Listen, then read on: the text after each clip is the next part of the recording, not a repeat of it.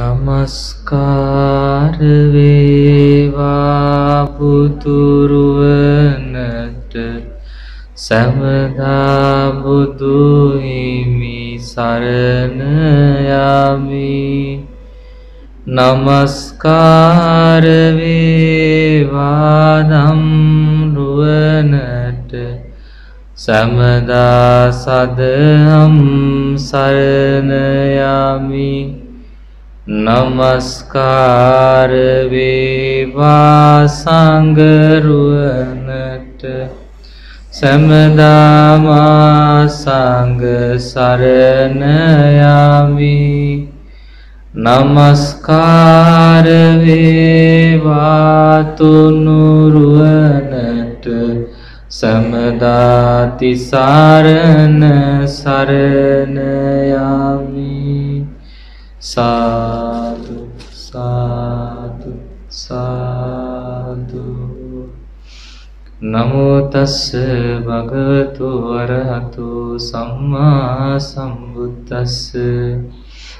නමෝ තස්ස භගවතු අරහතු සම්මා සම්බුද්දස්ස. නමෝ තස්ස භගවතු අරහතෝ සම්මා සම්බුද්දස්ස. නකාපන වස්සේන තිත්තිකාමේසු විච්ඡති අපස්සාදා දුකාකාමා ඉති විඤ්ඤාය පණ්ඩිතෝ අපි දිප්පේසු කාමේසු ප්‍රතිංසෝනාදිගච්ඡති තන්නක්කය රතෝ හෝති සම්මා සම්බුද්ධ ශාවකෝති. පින්වත්නි ඉල්පුන් පොහෝදා සීල සමාදානයේ දහවල් පුණ්‍යානුමෝදනාව සිදු කරනවා. උදෑසන දානයත් දහවල් දානයත් බොහොම සැදැහැ සිතින් බලවත් වූමනාවෙන් සිදු කරන්න යෙදුණු දායක පින්වතුන්ලා ප්‍රධානව දායක සහභාගී වෙන අපේ සිල් පිරිසේ හැමදෙනාටමත් වටිනා දේශනාවක්. දේශනාව සඳහන් වෙන්නේ සූත්‍ර පිටකයේ කුද්දක නිකායේ ධම්මපද පාළියේ. බුද්ධ වග්ගයේ මන වර්ගයේද බුද්ධ වග්ගයේ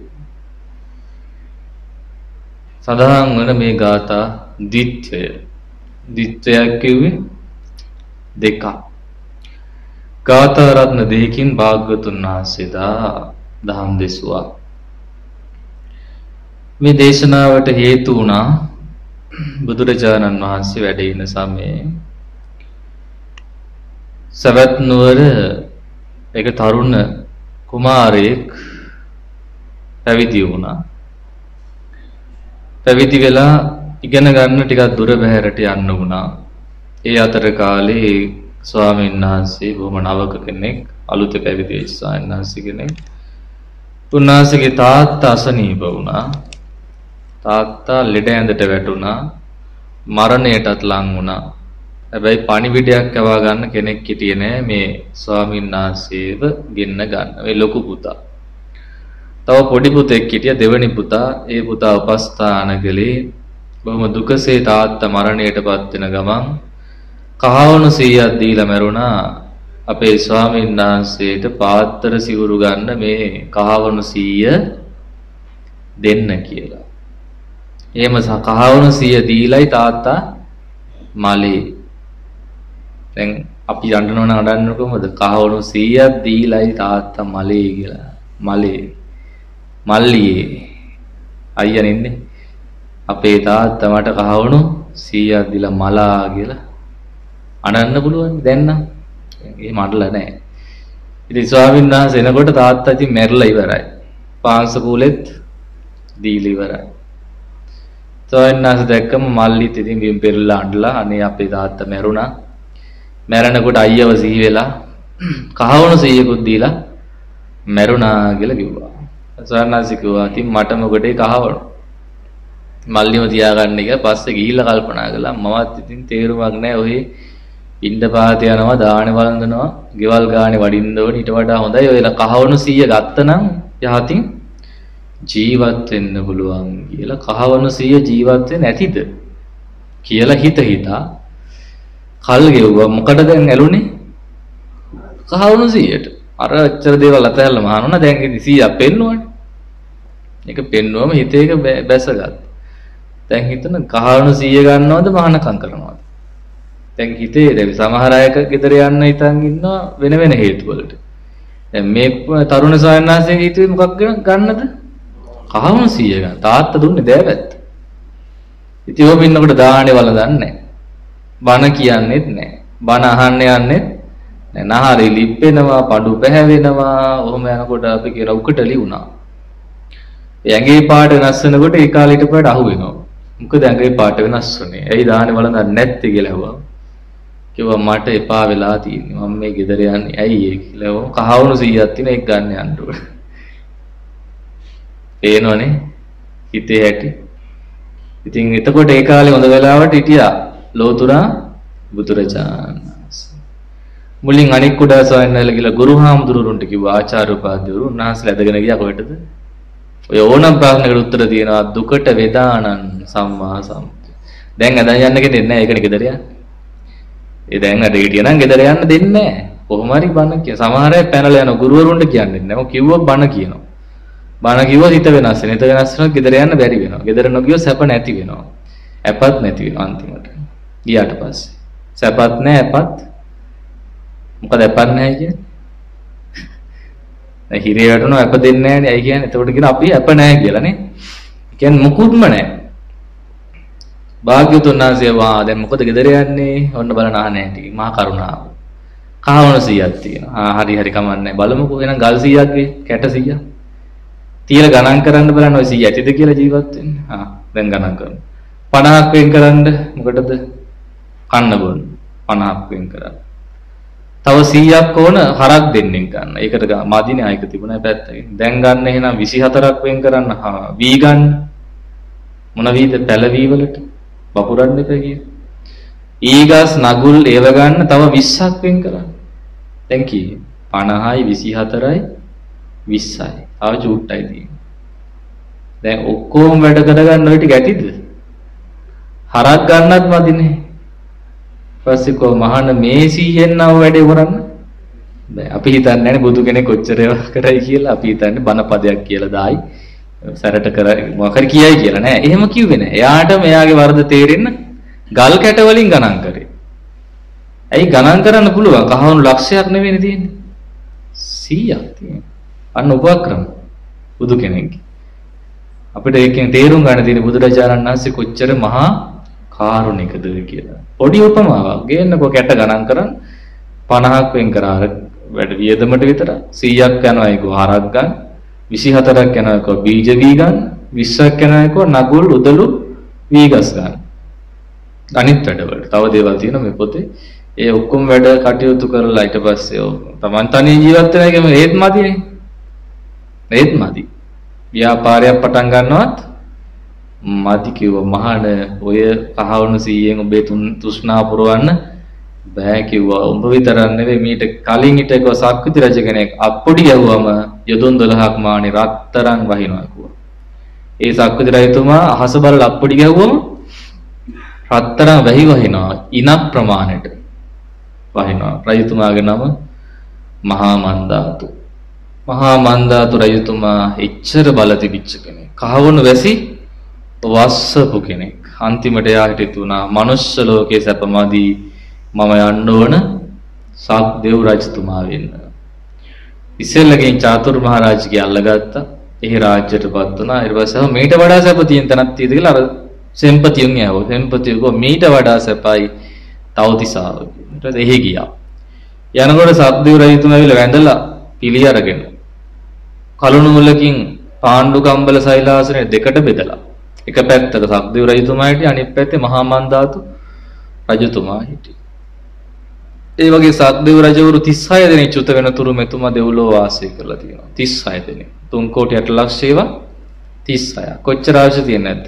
අසංඛ්‍ය ගාන. අසංඛ්‍ය දක්වා උපරිම තියෙනවා. ඒනොත් කෝටි ගණනින් 3 කෝටි 8 ලක්ෂය 36 ගණන් හදලා බලන්න ඕන. කෝටි 100කටත් වඩා අධිකයි. ඊටත් වැඩි එතකොට එච්චර සැප විඳලත් සෑහීමටපත් වෙන්නේ නැතුව තමයි එතුමා චුත වුනේ. සෑහීමටපත් වෙන්නේ නැතුව එහෙන් පහළට මෙහෙම පාවෙලා ඇවිල්ලා මගුල් උයනට පතිත වුණා කියන කියන්නේ දඩම් ගාලවට උන්නේ නැහැ. හිමීට පුළුන් රොඩක් වගේ පාවෙලා ඇවිල්ලා සතුටටපත් වෙන්න බැරුව තමයි අවසානයේ මරණයට පත් උනේ. ඒ නිසා භාග්‍යවතුන් වහන්සේ දේශනා කළා මේ සායනස නිවන් කැන්දාදී දේශනාවක් මේ දේශනාව. නකහපන වස්සේන. කහවණු වැස්සත් වැස්සත්. දැන් අපි ඉතින් දැම්ම බලමු. දැන් අද අපි කියනවා මෙතෙන්ට වැස්සක් වහිනවා. මොන වැස්සක්ද? කහවණු වැස්සක්. අපි සිල් ගන්නවද දුවනවද? මමත් දුවනවා. ඔබත් දුවනවද? මම දුවනකොට කට්ටියක් දුවනවා. හරි. අපිත් පුළුවන් තරම් මලු වලට කහවණු පුරව ගමු. කහවණු වල වටිනකම තේරෙන්නේ නැත්නම් අපි તો රත්තරන් වහිනවා කියලා. රත්තරන් හදන්න පුළුවන් කහවණු වලින්. රන් කහවණු. වැස්සක් වහිනවා. කීයක් පුරව ගත්තොත් ඇතිද මලු?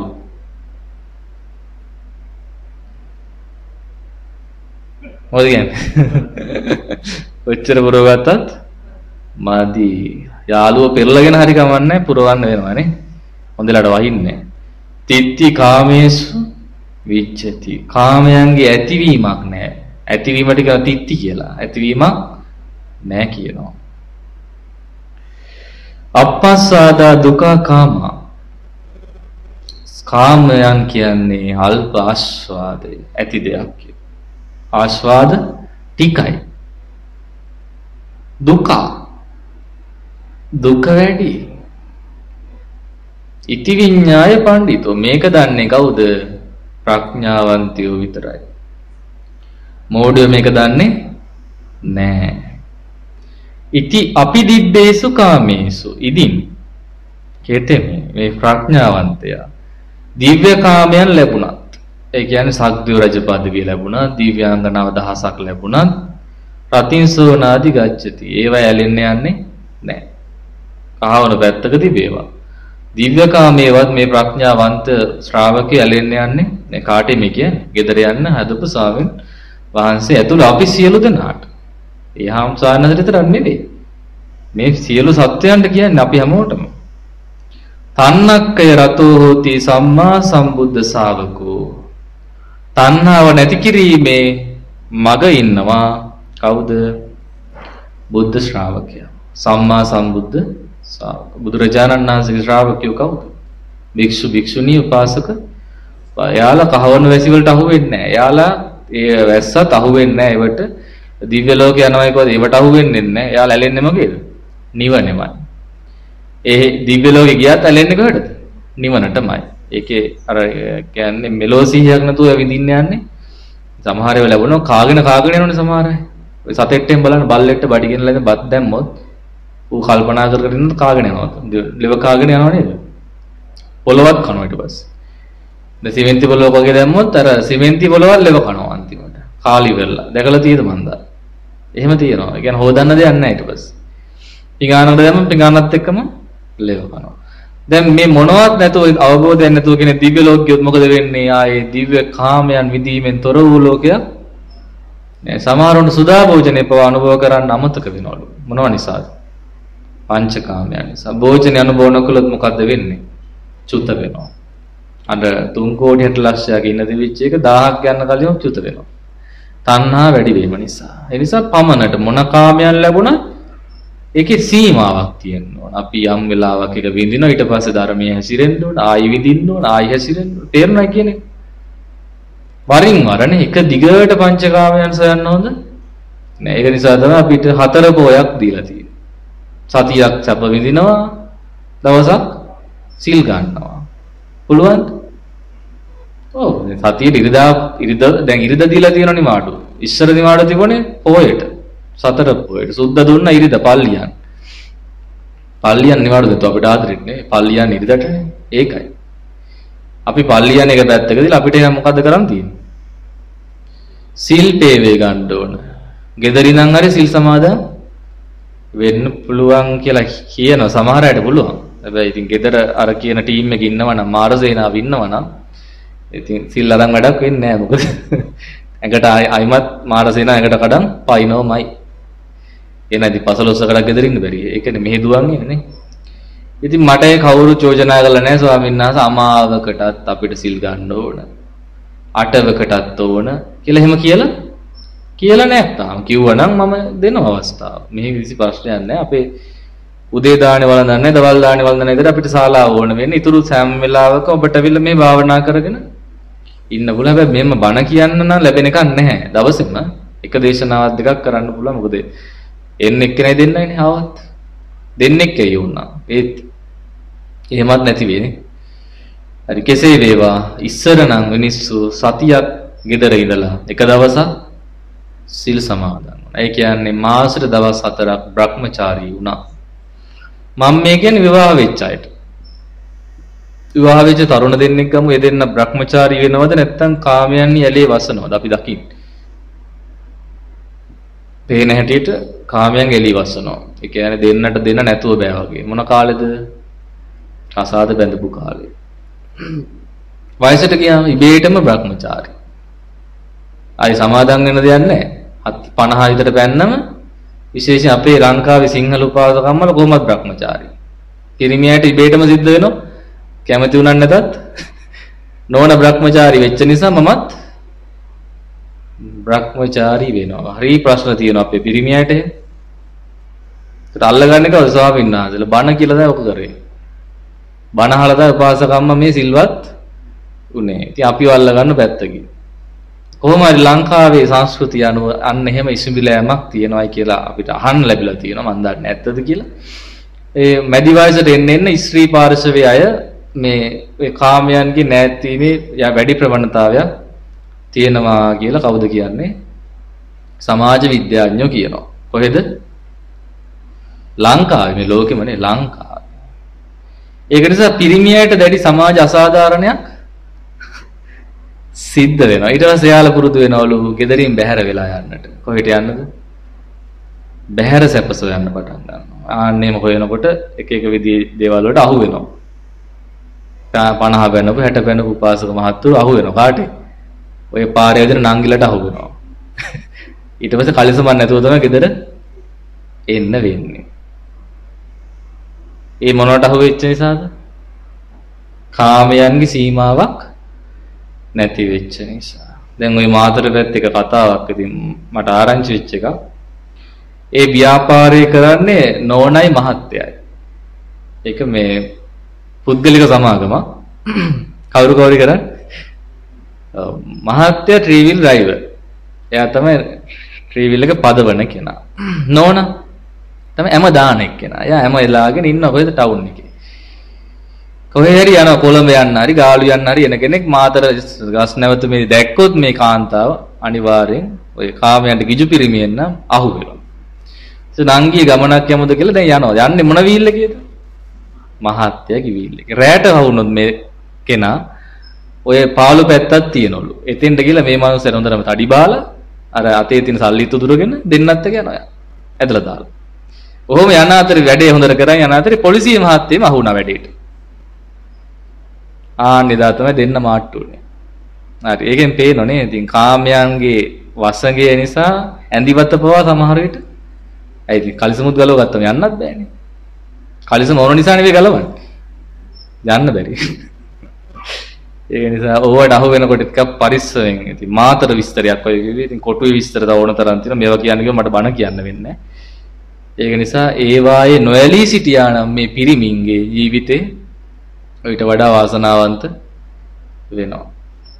හරි ඒකට එයාලා චෝදනා කරන අපේ උපාසකම්මලා සිල්වත් වීමයි මේකට ප්‍රධාන හේතුව කියලා එයාලා චෝදනා කරනවා. එතකොට ඒ අතින් බැලුවම උපාසකම්මලා හොඳද නැද්ද? හොඳයි නේ මොකෝ එයා තිත්තිකාමේසු නෑ ඒ කට්ටිය සංසිඳලා ඉන්නද? මන් දන්නේ ධානය ලැබිලාද කොහොමද කියලා කොහොම නමුත් බොහොම මේක කිසි තේරුමක් නැහැ කියලා යාලා ඒවා අතහැරලා දාලා Brahmacharya සීලය සමාදන්ව වාසය කරනවා. පෙරේද උදේ ආව උපාසකම්ම කෙනෙක් මාව හම්බෙන්න මාව දකින්න ආසයි කියලා. ගොඩාක් කාලෙකින් දැක්කේ නැහැ කියලා අවුරුදු 3කින් විතර අපේ දාන දෙන අම්ම කෙනෙක් අවුරුදු 70ක්. බය වෙන දෙයක්වත් නැහැ 70ක්. එනකොට ඇවිල්ලා මේ මම සිල් දෙනකොට මං කිව්වේ කාමේසු මිච්ඡාචාර මෙයා කිව්වේ අබ්‍රහ්මචර්යා වේරමණී. මම දන්නේ නැහැ නේ අබ්‍රහ්මචාරී කියලා. එයා කිව්වා. පස්සේ බලනකොට විවාහ වෙලා නැහැ. අවුරුදු දැන් කීයේ 70. දැන් විවාහ වෙන්න වයසකුත් නැහැ කොහොමද? දැන් නම්. එතකොට සැපද නැද්ද? සැපයි. දැන් ළමයිත් නැහැ. කවුරුත් අඬන්න කෙනෙක් නැහැ. මැරුණත්. එහෙම ඉන්න අය අපිට හම් වෙනවා වුණ තරම්. ඇයි අපි වෙත තමයි ওই Brahmachari උපාසිකාව බණහන්නේම එනවනේ ආවම කියන විස්තරේ. ඒතර එයාලා කියන මේක බොහෝම සුව දෙයක්. සනීප දෙයක්. සැපට නින්ද යන දෙයක්. දැන් ඒ අම්මත් වෙනම කාමර දෙයක් ඉඩ මේ පැත්තකින් හදාගෙන ඔන්න වෙන් වෙලා වාසය කරනවා. හොඳයි එතකොට ඒකෙන් කාමයන්ගේ නැතිවීමේ සුවේ ඒ කියන අය විඳලා තියෙනවා. ඒතර කාමයන් ඇසුරු කර කර ඉන්න කෙනාට මොකද වෙන්නේ? අප්පාසාදා දුක්ඛ. ඔන්න ඔය ටික තමයි ලැබෙන්නේ. ආස්වාද ටිකයි. දුක බහුලයි. මොනවාද පංචකාමයේ එතකොට තේරෙන්නේ නැහැ. මොකද තේරෙන්නේ නැහැ. මොකද පංචකාම? රූපකාම. රූපකාම, ශබ්දකාම, ගන්ධකාම, රසකාම, පොට්ටබ්බ කාම පංචකාම. දැන් අපිට පේන ලස්සන රූපයක්. ස්ත්‍රියට පුරුෂ රූපේ පේන පුරුෂයාට ස්ත්‍රී රූපේ පේනවා. ඒ රූපේ විඳින්නේ මොකෙන්ද? ඇසින්. ඒක දිවෙන් විඳින්න පුළුවන්. මං අනේ කන්න පුළුවන්. රූපේ කන්න බෑ. රූපේ මොකෙන්ද විඳින්නේ? ඇසින්. ඒ නිසා ඇස සතුටු වෙන්න නම් මොකද කරන්නේ? රූපේ ලස්සනට තියෙන්න ඕනේ. ඒ නිසා පිරිමි අය කෙරේ අනුකම්පාවෙන් අපේ ලංකාවේ තරුණ ගෑනු ළමයි මේ දවස්වල බෙහෙත් විද ගන්නවා. ඇයි? අර වර්ණය සුවර්ණ වෙලා අපේ උපාසක මහතුරුන්ගේ ඇස් දෙක පින වේවා. කියලා යාලා ලක්ෂ 10ක් විතර වියදම් කළා බෙහෙත් විදගෙන ලක්ෂ ගණන් වියදම් කරගෙන බෙහෙත් ලක්ෂයක් වියදම් කරනවා. බෙහෙතක් විදලා මුළු ඇඟම සුදු වෙනවා. සුදු මැලි වෙනවා. දැන් කාට පේන්නේ විදින්නේ?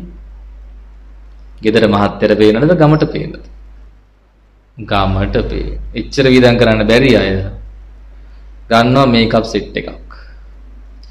ගෙදරදී ඔක පාට කරන්නේ කොහේ හරි හම්බන්තොට යනවනම් කොළඹ යනවනම් වගේ මෙහි අඩුයි ඇත්තට. නමුත් අගනගරට එනකොට එළියට බහින්නේ මේක නැතුව. මොකක් නැතුවද? මේකප් කරන්නේ නැතුව. ඒතර අප් කරාට පස්සේ අනිත් අය තප් වෙනවා. ඇයි දැක්කට මේ ඇන්ටිගේ වයස පේන්නේ නැහැ. ඇයි? කොණ්ඩේ රතු කරලා මූණ වටේට අර පවුඩර් ගාලා තොල් රතු වෙලා දුටුවන් මන් මන් මත් වෙනවා. මොන මත්ද? මන් මත් වෙනවා. ඒක ට්‍රීවිල් ඩ්‍රයිවර් කෙනෙක් කිව්වා පිස්සු වැදලා ආයෙත් පිස්සු වැදෙනවායි කියලා. හරියට තැනක් කියන්න මිරිස්වත් හන්දියේ ට්‍රීවිල් පාක් එක ගාව මං හිටගෙන හිටිය බස් එකේ නගින්න. එතකොට ඇහුනේ. ඇත්ත ඇත්ත තමයි කතාව. මොකද ඒ ඇන්ටිගේ සාය කොටයි ධන ඉස්සරත් වඩා. මමත් දැක්ක මට පිස්සු වැදුන්නේ නැහැ. මම බැලුවා මම නිකන් හිටියා. මොකද ඉතින් ඕම තමයි ඉතින් මේ පේනවනම් අපිට කියන්නේ ඇස්සරියම් පේනවනේ දැන් ත්‍රිවිල් එකේ ළමයි ටික එහෙම නෙවෙයි මේ පැත්ත යනකම් මෙහෙම බලන් හිටිය ආයි මාර පැත්ත යනකම් මෙහෙම බලන් ඒ බෙල්ල හැරෙන යන යන පැත්තට කාන්දම් වගේ. ඒත් එයාලට ධර්ම මානසිකාර නැති නිසා කෝ පිස්සු වෙදිලා ආයෙත් පිස්සු වෙන විසිල් ගැහෙනවා. හරි මම මේක උදාහරණයක්. මට ගෝචර වෙන්නේ අඩුයි ඇත්තට. මම පාරේ බහලා වැඩි යන්නේ නැහනේ. මට අහුවෙච්ච එකක් කියන්නේ මේ තරුණ මහතුරුන්ට ඕන තරම් වහුවෙලා ඇති. ඉතින් මට අහුවෙච්ච වෙලාව තමයි මට ඔය මතක හිටියා ඔක. හොඳට. මොකද ඒ වචනේ. මං කල්පනා කරේ කොච්චර මෝඩයිද නේ. අසුචි ගොඩක් දැකලා නේද? ඔච්චර. පස්සෙන් කියලා අපි හිතන්නේ. ඈ? දෙපැත්තම ඔව් එහෙම තියෙනවා. මේ ඒ වුණාට ඒ නෝනාගේ මොනව ඇතුලේ තියෙන්නේ? ඔව් කකුල් සුදු එක ඇත්ත? බඩ ඇතුලේ සුදුයිද? නෑ රතු පාට. බඩවැල් තමයි තියෙන්නේ.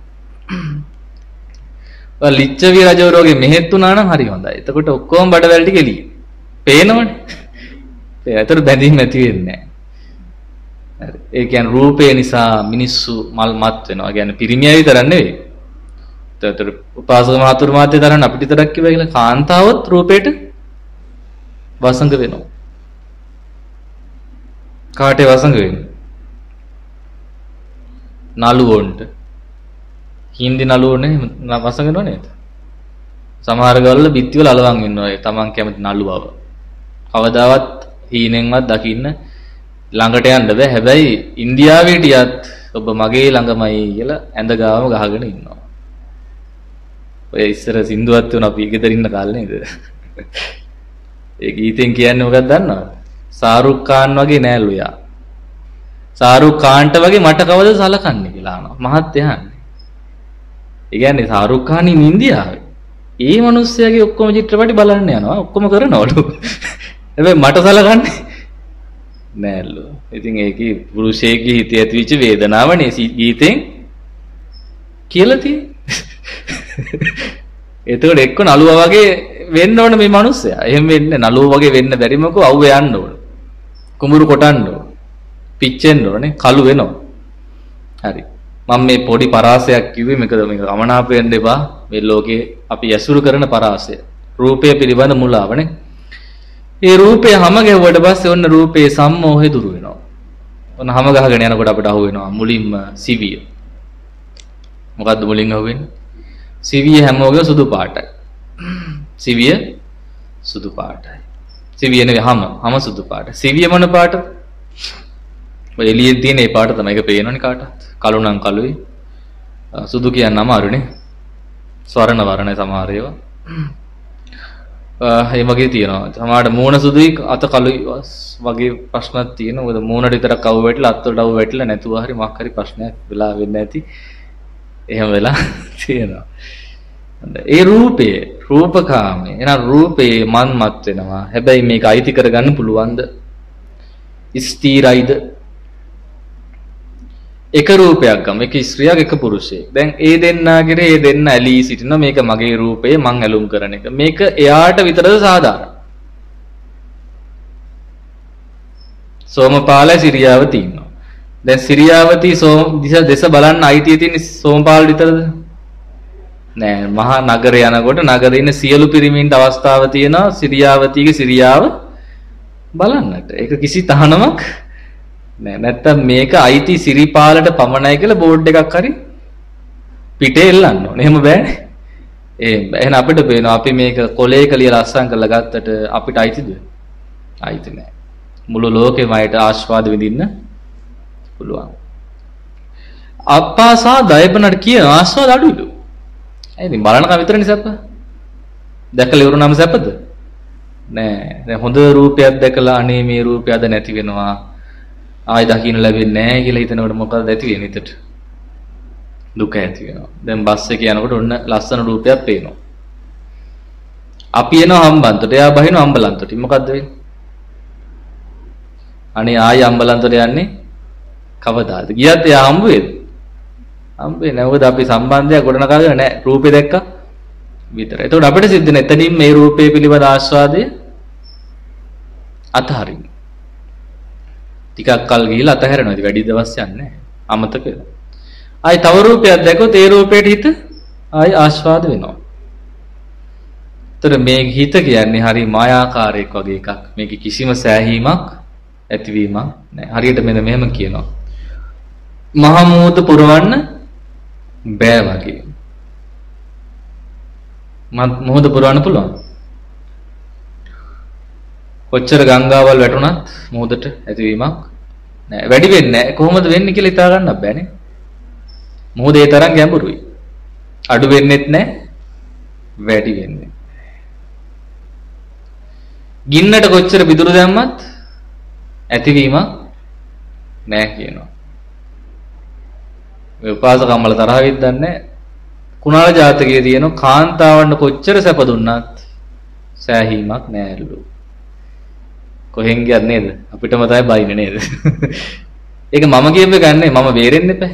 බලෝතුරා බුදුරජාණන් වහන්සේ කියලා තියෙන ස්ත්‍රීන් පුරවන්න බෑලු ආසාව. ඒ කියන්නේ ආසාව කියන්නේ එක දෙයක් නෙවෙයි. රත්තරන් බඩු ඇඳුම් පැළඳුම් අරන් අරන් දුන්න කොච්චර දුන් අරන් දුන්නද ඇති වෙනවද? මේ අලුත් ෆැෂන් එකක් આવොත් ඒකත් ගන්න ඕන. පැටර්න් එක ගන්න වෙනවා. ඊපස්සේ ආභරණ කියන ඒවා ඔච්චර ලැබුණා ඇති වෙන්නේ නෑ. අල්මාරිය දාලා අරන් තියනවා සමහර විට. එක කරාබුවක් දාලා නිකන් ඉන්නේ. දැන් සමහර උපාසිකා මම දැකලා තියෙනවා කරාබු හතර දාන් ඉන්න අය. දැන් මෙතන එකයි මෙහෙම කන දිගට විදලා. කණේම හිල්. ඒ මාද ඊට පස්සේ නහයත් විදිනවා. මෙතනත් දානවා. තව තියෙන තැන් මම කියන්න ඉතින් එහාට කියන්නේ ප්‍රශ්නයක් වෙනවනේ. නහයෙත් කරාබු. දැන් දකින්නකොට අපිට හිතෙන්නේ වෙන જાතියක්. මොකද්ද? ඕන කෙනෙක්ට මට විතරක් නෙවෙයි ඕන කෙනෙක්ට හිතනවා මේ ස්ත්‍රිය නම් එච්චර හොඳ ස්ත්‍රියක් නෙවෙයි මොකද ඇඟ පුරාම රත්තරන්නේ. අත් 10 මුදු 10. 10. මුදු 10. දැකලා තියෙන්නේ? ආ දැකලා තියෙනවා. මාල දෙක තුනක් බෙල්ල වටේ දාලා.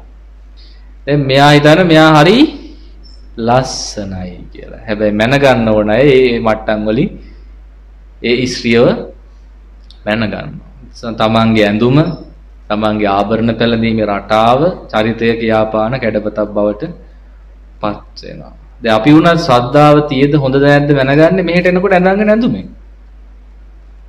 දැන් සමහර දවසට බණහන් රැයට නවතින කට්ටිය රතු පාට ඇඳුම් ඇඳගෙන. මෙහි නවතිනව තමයි. සායන්නා දෙනකොට නිදා නිදා ගන්න ඇඳුම් පිටින් බණහන් එන්නේ හොඳ නෑනේ. දැන් නිදා ගන්න ලෑස්තිලා එක දවසක් පැදුරුත් වෙලාගෙන උතන. පැදුරු එලන් කොට්ටක් තියාගෙන තමයි බණහන ලෑස්තිලා ඉන්නේ. හැබැයි ඇඳුම එච්චර හොඳ නෑ. එතකොට තේරෙනවා බණ වැඩි වෙලා කියන්නේ හිතෙන්නේ නෑ. ඇයි මෙයාලා ශ්‍රද්ධාවන්තයෝ නෙවෙයි කියන එකකින් ඇඳුමක් තියා ගන්න ඕනේ. බා කියන්නේ නවතින්න ආවට පස්සේ ආරණ්‍යයකට බණහන වෙලාවට අඳින්න වෙනම ඇඳුමක් තියෙන්න ඕන. නිදා ගන්න එක වෙනම එකයි. ඒක ඉතින් අපිට අදාළ නැහැ. අපි නිදා ගන්න වෙලාවට ඉතින් දෙන්නේ නැහැ කොහොමද? ස්වාමීන් වහන්සේ බණ කියනකොට අපිට සංවර ඇඳුමක් තියෙන්න ඕන. ඊට පස්සේ බණ අහනකොට තමයි ඊට පස්සේ සද්දාව වෙන්නේ. කොහොමද? වැඳගෙන බණ අහනවා. ඇසිපිය නොහෙලා බණ අහනවා. සතුටු සිතින් බණ අහන. ඒ කවුද? ශ්‍රද්ධාවන්තයා, ප්‍රඥාවන්තයා. ඈනුන් දෙක තුන ඇර ඇර බණ අහනවා. කවුද? සද්දාව අඩු කෙනා. ධර්මච්ඡන්දය අඩු කෙනා. ප්‍රඥාව මදිද ප්‍රඥාව අඩු අයට වැඩිපුර ඈනුම් යනවා. මෝඩයාගේ ලක්ෂණයක් තමයි නිතර ඈනුම් යැවීම. ඇඟමැලි කැඩීම. ඇඟමැලි කඩන හැටි දන්නවනේ. මුළු ඇඟම කරකවල යවන්න එක. උඩට අත් දෙක උස්සලා. ඒ මුළු ඇඟේම කම්මැලිකම යවන එකක්. ඊළඟට කතා කරන වචනේ. ඇවි ආපු ගමන් සාදු කියලා කතා කරොත් අපිට අපි දන්නවා මෙයා කිසි වණක් දහමක් අහපු කෙනෙක්. ආ ස්වාමීන් වහන්සේ ලැසුරු කරපු කෙනෙක් නේ. අවසර ස්වාමීන් වහන්සේ කියලා අයිනේ අර එහෙම කතා කරන ඉන්නේ. ඒතකොට අපි දන්නවා මෙයා යම් කිසි දැනුමක් තියෙන කෙනෙක්. දැන් ඔය ගල්දුව පැත්තට යනකොට අපේ ඒ ආරණ්‍ය මූලස්ථානේ පැත්තට ගියාම ඒ හැම ගාමකම මිනිස්සු කතා කරන්නේ ස්වාමීන් වහන්සේ. නැත්නම් අවසර කියලා. එතකොට අපිට පේනවා මෙයාලා යම් කිසි ශ්‍රද්ධාවක පිහිටා ඉන්නවායි කියලා. එහෙනම් අපි කිව්වා කාමයන්ගෙන් සෑහීමකටපත් වෙන්නේ නෑ. ගින්දර සෑහෙන්නේ නෑ වගේ. දර දාලා මුහුද සෑහෙන්නේ නෑ වගේ. වතුර දාලා මේ සත්වයා පංචකාමයන්ගෙන් කහවණු වැස්සක් වැස්සෙව්වත් මේ ඇති තව එපා කියලා කියන්නේ නෑ. වැහි හතක් වැස්සත් ඒත් මදි. එහෙම තමයි தත්වය. ඒ නිසා මේ தත්ත්වයටපත් වෙච්ච මහා මන්දාතු රජතුමා තවතිසාවට පවා මනුෂ්‍ය වෙස්යෙන් ගිහිල්ලා එතුමා. එතුමාගේ ශරීරය දිව්‍ය වෙස්යට ඇරුණයි කියන හේදී. දිව්‍ය ස්වරූප පෙර ඇරුණා කියන මොකද එහෙ ඉන්න බැරි නැත්තම්. ඒ ඒකට අනුගත වුණා. අනිත් පිරිස මෙහෙට ආවා.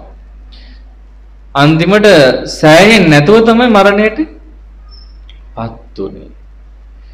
ඉතින් ඒ නිසා මේ සත්‍යයට අනුශාසනා කරනවා මේ රූපයට, ශබ්දයට, ගන්ධයට, රසට, පහසට කොච්චර ඇලුම් කළත් එහි ඇති ආස්වාදයක් නෑ අල්ප ආස්වාදය ටික වෙලාවයි තියෙන්නේ දුක දුක වැඩි. අජිත් මහත්තයා මොකද කියන්නේ? දුක වැඩිද නැද්ද? දුක වැඩි. ආස්වාද ටිකද නැද්ද? ටිකයි. දැන් කසාද බැන්දනේ බැන්දා බැඳලා ඉන්න නෝනගෙනුත් මම එදා ඇහුවා. ඒකේ දුක වැඩි. මොකද දුක වැඩි කියන්නේ නෝනගේ ප්‍රශ්නයක් නිසාවත් මහත්තයාගේ ප්‍රශ්නයක් නිසා නෙවෙයි මේ ලෝකේ ප්‍රශ්නයක් ඒක. මේ කාම ලෝකේ හැටි. ඔන දිව්‍ය ලෝකේ වගේ නම් සැපෙන් ඉන්න තිබුණා. මෙහෙ එහෙම ඉන්න වෙන්නේ ඇයි ඒ දෙන්න ජීවත් වෙන්න අරගලයක යෙදෙන්න ඕනේ. එතකොට එයාලා ඇලිලා ඉන්න වෙලාව අඩුයි. වැඩ කරන වෙලාව වැඩි.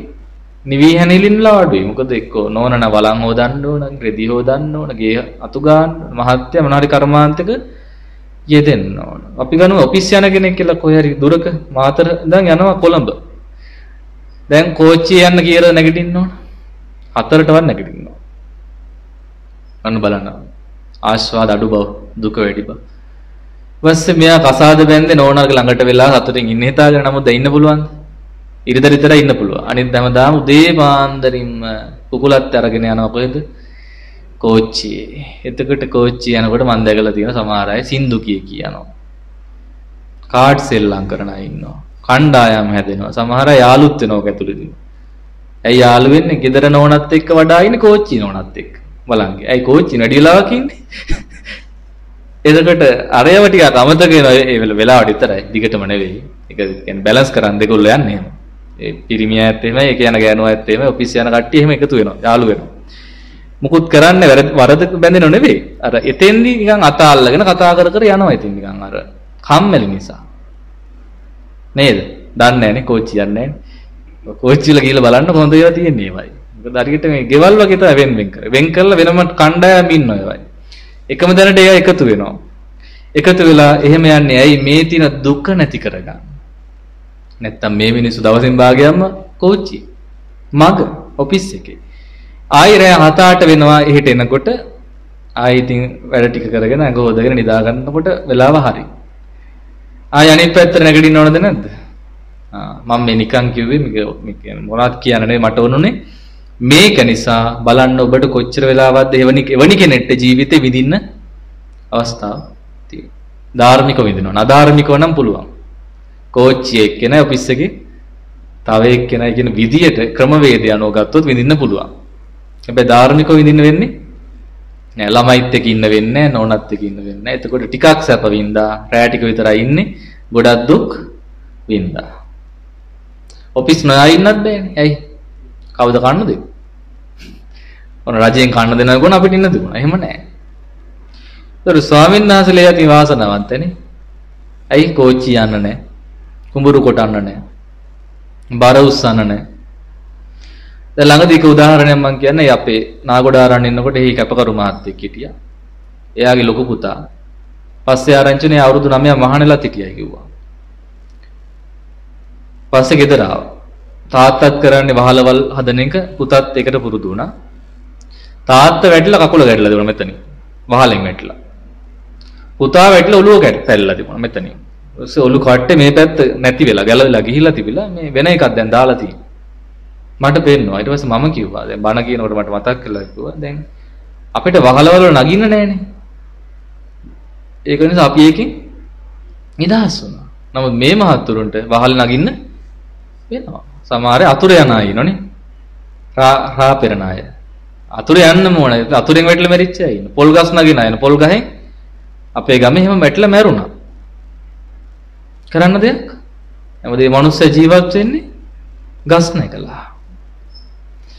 තව ඔය රන්හරියේදී මම දැක්ක දවසක් යනකොට ඒ ප්‍රයිවට් බස් එකක් මොනරාගල මාතර මෙහෙම පාර අයින නවත්තලා තිබුණා. බලනකොට ඔළුව කුඩු වෙලා. ඒ කොන්දොස්තර මහත්තයාගේ. මොකද එයා වතුර බෝතලය ගන්න අත දික් කරනකොටම බ්‍රේක් ගහලා තියෙනවා. විශ් වෙලා ගිහිල්ලා වැටුණා. එතනම මරණ මරණයට පත් වුණා. ඒතකොට ගිහි ජීවිතය ගෙවන කෙනා මේ අවදානම් රැකියාවල් වල යෙදෙන්න වෙනවා. දැන් කොරියාවෙම ගිහපු සමහර ළමයි අපේ ලොකු සානාසික මල්ලි පව මේ ඇඟිලි තුනක් කැපුණා. ඒ කියන්නේ මොකක් හරි වෙන කල්පනාවක් ඉන්න ගම අත ගියා ඔක ඇතුළට මැෂින් එකට. තප්පරයක්. ඉතින් ඇඟිලි තුනක්ම කපලා ගියා. අත් කැපෙන අයින සමහර අය මුළු ඇඟම මැෂින් එකට යනවා. ඒතකොට එන්නේ මොකද්ද? හපේ. ඒ කියන්නේ පණ පිටින්ද?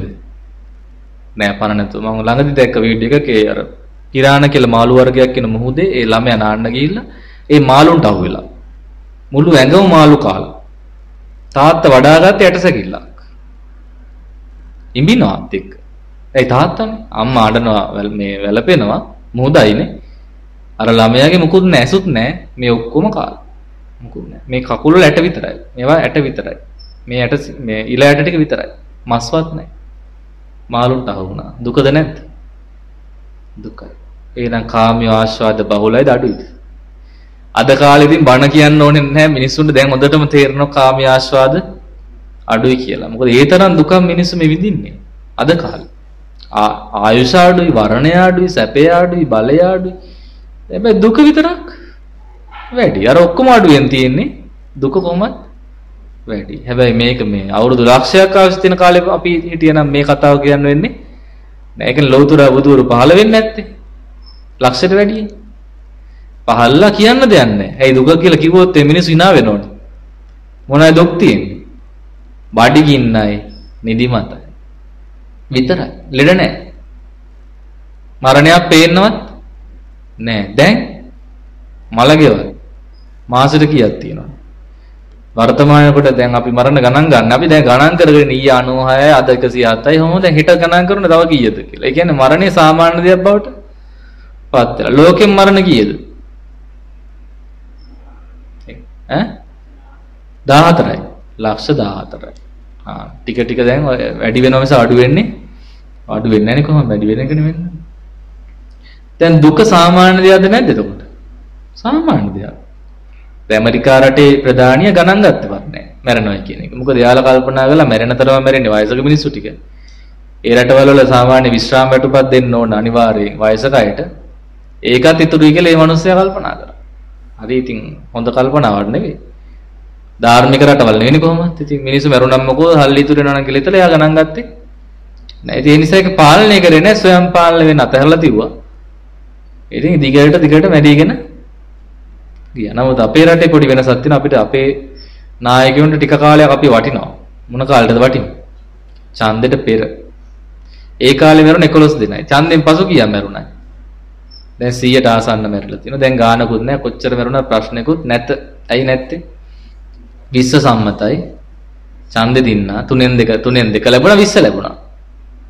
දැන් අපි උන්නත් එකයි මලත් එකයි පවුලේ කට්ටිය ඉතුරු නම් ඇති. එහෙම නේද? සංකල්පේ. අපි දන්නේ එහෙම අපිට එහෙම හිතෙනවා ඉතින් මොනව කරන්නද? ඒ හිතෙන්නේ ඇයි මේ කලින් කරපු වැඩ පිළිවෙලයි දැන් කරන වැඩ පිළිවෙලයි දෙකේ වෙනස එනකොට මොනවද අතෑරිය ගිහිල්ලා ගඟට මුට්ටි අතෑරිය මුට්ටි අතෑරලා මේ ලේඩ හොඳ වුණාද නෑ නෑ මිත්‍යා දෘෂ්ටිය වුණත් ටිකක් අඩුවෙන් ඕන තියෙන්නේ ඒක නිකන් ලෝක විහිළුවක් බවට පත් වුණා. එහෙනම් අප්පාසාදා දුකා කාමා. කොච්චර රැස් කරත් විඳින්න තියෙන ඉන්ද්‍රිය හයයි. ඇසයි, කනයි, නාසය, දිවයි, ශරීරය, මනසයි. රජ කෙනෙක් වුණත් එයාට ඇඳවල් 1000ක් තියෙනයි කියමු. එකපාර 1000ම නිදා ගන්න බෑ. ගෙවල් 100ක් තියෙකම 100ටම යන්න පුළුවන් එකපාරට. බෑ. පුළුවන්කම නෑ. වාහන 100ක් තියෙකම 100ම යන්න පුළුවන් එකපාරට. බෑ එක එක විඳින්න වෙන්නේ. සමහරට ජීවිත කාලෙත් දැන් මදි. මේ තියෙන ආයුෂෙත් එක්ක විඳින්න කාලයක් නෑ. ඒ නිසා දැන් ඉපදෙන ළමයින්ට හොඳයි. කාගේ ළමයින්ටද? රජ පවුලේ අලුතෙන් ඉපදෙන ළමයින්ට වාසි. මොකෝ සීයලා මාමලා අප්පච්චිලා බාප්පලා අපිටත් එක හම්බ කරලා මැරෙන්නේ. එයාලට වඩා පුණ්‍යවන්තය කවුද? උපදින ළමයි. ඇයි ඉපදෙනකොටම සැපයි. ඉපදෙනකොටම සැපයි. ඒ වුණාට අපිට කියන්න තියෙන්නේ ඒත් ලොකු කාලයක් ජීවත් වෙන්න ලැබෙන්නේ නැහැ. සැප වැඩි වෙනකොට ලෙඩත් වැඩි වෙනවා. සීනි වැඩි වෙනවා, තෙල් වැඩි වෙනවා. ඊට පස්සේ රෝහල් ගානේ නතර වෙන්න වෙනවා. සත්කම් කරන්න වෙනවා. ඒ නිසා පින්වත්නි කාමයන් ඕනවට වඩා වැඩිවීමත් දුකක්. පමණට ලැබුණම ඇති. තේරෙනවද කියන එක? මොකද පමණට කියන්නේ? Tamanට ජීවත් වෙන්න අවශ්‍ය ප්‍රමාණය. නැත්තම් දැන් ගොඩාක් ගෙවල් ලොකුට හදාගත්තම කියන්න බලන්න තියෙන ප්‍රශ්නේ. තට්ටු තුනක ගෙයක් තියෙනවා. මොක් කරන්න ඕන කවුද? තමන්ම කරගන්න. මකුළු දැල් කඩන්න ඕන. CCTV දාන්න ඕන. තාප්පෙට වීදුරු කටු, බෝතල් කටු ගහන්න ඕන. දිවාරය බයෙන් ඉන්න කොයි වෙලාවෙ හොරු දැන් හොරු ওই පැල්පත් වලට පනින්නේ නැහනේ. හොරු වුණත් පනින්නේ යමක්කම ඉතින් ගන්න දෙයක් තියෙන්නේ පෙපැන්නලා නේද? ඒක තියෙන කෙනා බයෙන් නෙවෙයි නිදාගන්නේ. බයෙන්. කියනනොත් බය වෙනවා. එහෙනම් එයා සැපද දුකද විඳින්නේ එතන ඉඳගෙන? දුකක් අපිට පේන අනේ කට අරන් ඉන්නවා හරි සැපයි. පිටින් බලලා අපි කියනවා හරි සැපයි. බලනකොට ඇතුලේ මහා බයක් තමයි තියෙන. ඒ නිසා කොයි අතින් කරකවල ගත්තත් භාග්‍යවතුන් වහන්සේ දේශනා කළා මේ කාමයෝ කියන්නේ ආස්වාද අඩු දුක වැඩි දුකම දෙන දෙයක්. ඒ නිසා මේ කාමයන් ගැලෙන්නේ නැහැ කවුද? මේක දන්න කෙනා. සම්මා සම්බුද්ධ ශාවකෝ. අපි දිබ්බේසු කාමේසු. මනුෂ්‍ය කාමය නෙවෙයි දිව්‍ය කාමය ලැබුණත් ඇලෙන්න එකට හොඳ කතාවක් තිබුණා.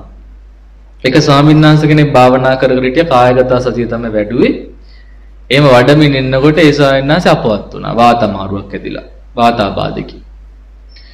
අපවත් වුණාට පස්සේ උන්වහන්සේ නිදාපිපිදියාක් මෙන් කොහෙද ඉපදුනේ? තවතිසා දිව්‍ය ලෝකේ. ඒ තාම අත් දෙක බැඳගෙන යටට ඇස්සලාගෙන සක්මන් කර කර තමයි හිටියේ. ඉන්නකොට දිව්‍යාංගනා 500 කියලා වට කරා. එහෙ ගියාම මේ මේ සක්මන් කර කර භාවනා කර කර ඉන්න දෙන්නේ. එයාලා ඇවිල්ලා එහෙම අදිනවා ඊට පස්සේ. කවුද? ගෑනු ළමයි. කවුද? දිව්‍ය ආංගනා. දිව්‍යාංගනා කෝවා ස්වාමීනි අපි ඔබ වහන්සේගේ කවුද? පරිවාර ස්ත්‍රීන්. ඇයි කියලා උඹලා ආවේ? මේක දිව්‍ය ලෝකෙ කිව්වා.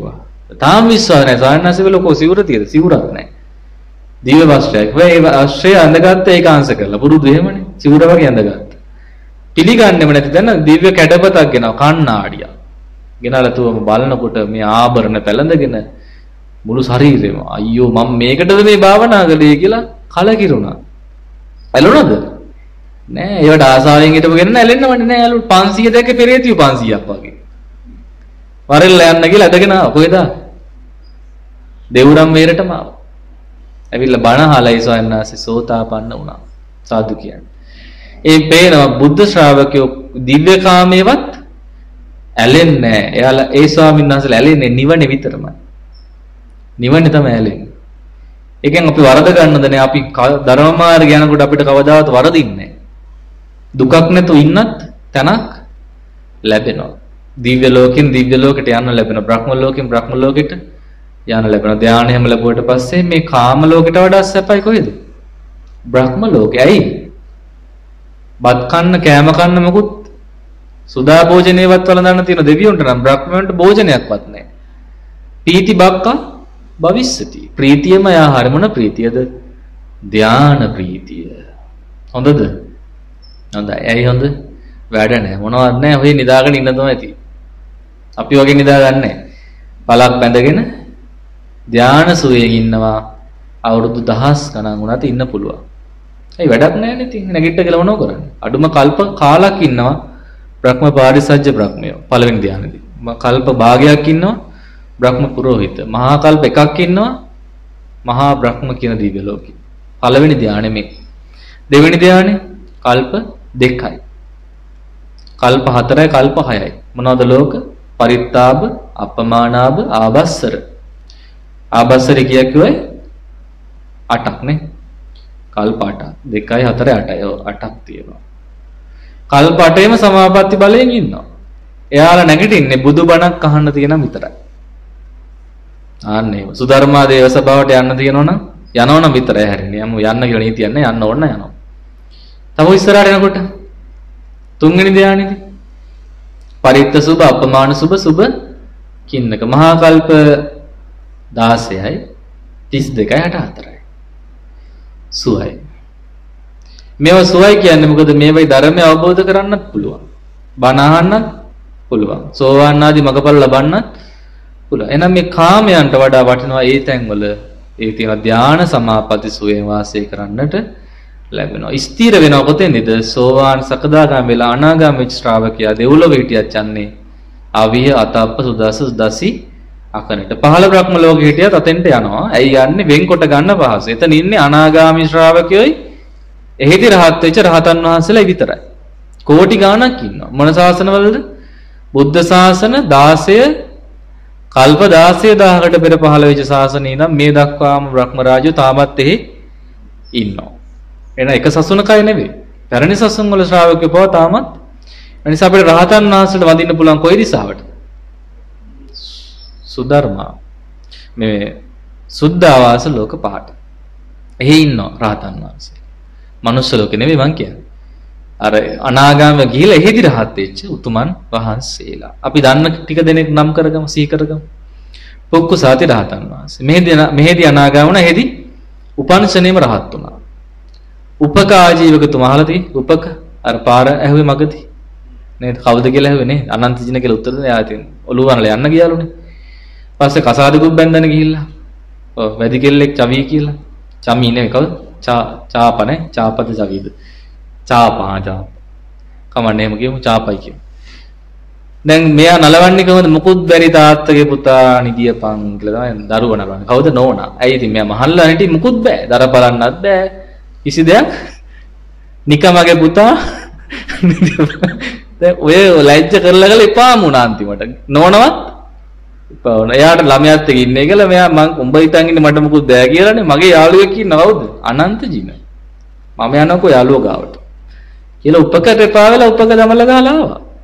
ඇවිල්ලා බණ ඇහුවා. අනාගාම වෙනා, මැරුණා. දෙව්ලොව බඹලොව ඉපදෙනකොටම සුද්ධාවාසෙදී රහත් වුණා. උපක කියන්නේ සාමාන්‍ය උතුමෙන් නෙවෙයි දැන් රහතන් වහන්සේ. තාම වැඩ ඉන්න. කොහෙද? සුද්ධාවාසෙ. අවිහ අතාප සුදා සුදාසි අකනිට. එකෙන් කොහෙද කියලා දන්නේ පහෙන් එකක. රවියේ 500ක් තියෙනවා කෝ වේහප්පල හතරෙනි ධ්‍යාන ලෝකේ. අවිහේ තියෙන 1000ක් මහා කල්ප.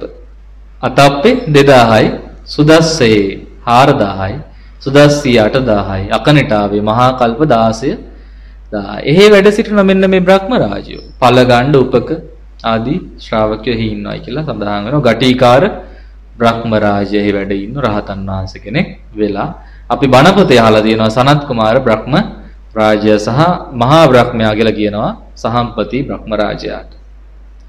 ඒ උතුමන් අතර දකින්න ඔබට පුළුවන් කොහෙ ගියොත්ද? තවතිසා දිව්‍ය ලෝකෙට ගියොත්. නැත්නම් දිව්‍ය ලෝක හයටම ගියත් පුළුවන්. තවතිසාවේ ධම් සභා මණ්ඩපයේ සුධර්මා සභාවට පොය දවසට එකතු වෙනවා මේ සියලුම දෙවියෝ සහ ඒ කියන බ්‍රහ්ම රාජයෙක් උඩින් එනවා. මොකටද? ආරාධනා ලැබවල බණක් කියන්න එනවා. දැන් සාමාන්‍ය බණ කියන්නේ සක්දේව රජතුමා. එතුමා සෝතාපන්නයි. හැබැයි විශේෂ බණකට වඩිනවා පිටින්. ඒ කොහෙන්ද එන්නේ?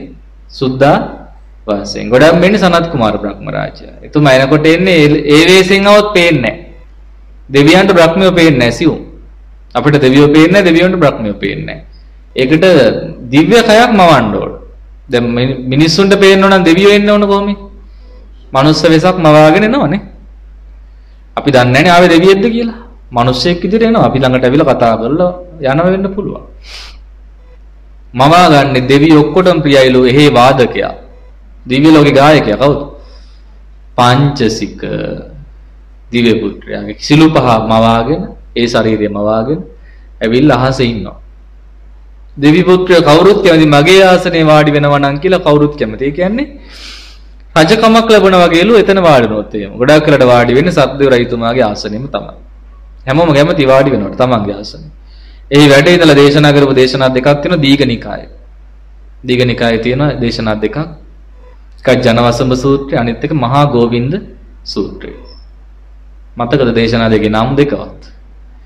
ජනවසම සූත්‍රයයි මහා ගෝවින්ද සූත්‍රයයි. දෙකම තියෙන්නේ දීඝනිකායේ. අපි දේශනාව අවසන් කරමු. අපේ දායකයන්ටත් දැන් නිදිමත ඇති.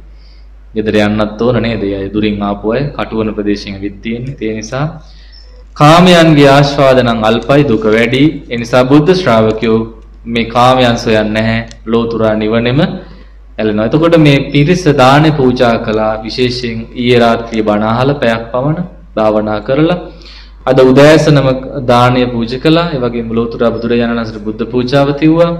දවල් බුද්ධ පූජා පූජ කළා. සිල් පිරිසර දානය පූජා කළා. නමුත් මේ පවතින தත්ත්වය අනුව අපිට ලැබිච්ච පිරිස අඩුයි. නමුත් ඒක සීකරන්න ඕනේ මහා සංඝරත්නයට පූජා වේවා සිල්වතුන්ට පූජා වේවා කියන අදහසින් තමයි පූජාවන් අද පවත්ව ගත්තේ. ඒ ආනිසංස වශයෙන් ආයුෂ වරණ සැප බල ප්‍රඥා උපනුපන් තැන ලබන අතර භෝග සම්පත් පරිවාර සම්පත් නිවන් දක්නා අතුරු ලබන්නත් මෙව දාණය හේතු වෙනවා වාසනා වෙනවා. කාන්තාරක ගිය සාපිපාසා දුකක් වෙන්නේ නැහැ කියලා අපි පින් අනුමෝදන් කරනවා. ඒක මං කියන නිසා වෙන්නේ නෙවෙයි. මේ දීපු දාණය ප්‍රතිඵල වශයෙන් එහෙම වෙන්නේ නැහැ කන්න බොන්න අඩුවක් වෙන්නේ නැහැ ඒකට හේතුනේ මේ අය ශ්‍රද්ධාවන්තය වුණා ප්‍රඥාවන්තය වුණා. ඒ නිසානේ දුන්නේ. තමන් වෙනුවෙන් රැස් කරපු ධනය මේ බොහෝ පිරිසක් වෙනුවෙන් පරිත්‍යාග කිරීමේ කුසලයෙන් තමන්ට තණ්හාව ෂේ කරගෙන අමා මහ නිවනින් සැනසීමේ වාසනාවත් එනිසා අපේ මේ දාණය දාන පාරමිතාවක්ව නිවනට හේතු වේවා කියලා දායක පිරිස සාදු කියලා අනුමෝදන් වෙන්න. අනිත් අපේ පිරිසත් ඒ දානමය වෙන සාදු කියලා අනුමෝදන් වෙන්න. තව පින් දන් පින් අනුමෝදන් වෙන කීපයක්ම තියෙනවා. කටන පින්කමේ පූජාව ඊයේ පැවතුණා. ඒ දාන පින්කමත් කටන චීවර පූජාවත් ධර්ම දේශනාවත් සාදු කියලා ඔබ අනුමෝදන් වෙන්න. ඒ වගේම ජිනවංශ යෝගාශ්‍රමයේ අපේ අනිකුත් ශාඛාවෙත් අද දිනේ තමයි කටන චීවර පූජාව ඊයේ රාත්‍රී පිරිත් දේශනාව දැන් දහවල් දාණයෙන් අවසන් වෙනවා. ඉතින් මේ දානයත් ඒ කටන පූජාවත් අපි මෙහි ඉඳගෙනම සාදු කියලා අනුමෝදන්. එනම් මෙතෙන් මේ දාන පූජා පැවැත්වීම උපස්ථාන කිරීමෙන් මේ දායක පින්වතුන්ලා රැස් කරගත් සියලු පින් ඒ හැමට සසර ගමන සුවපත් වී උතුම් නිවනින් සැනසෙන ලැබේවා කියලා ප්‍රාර්ථනා කරනවා.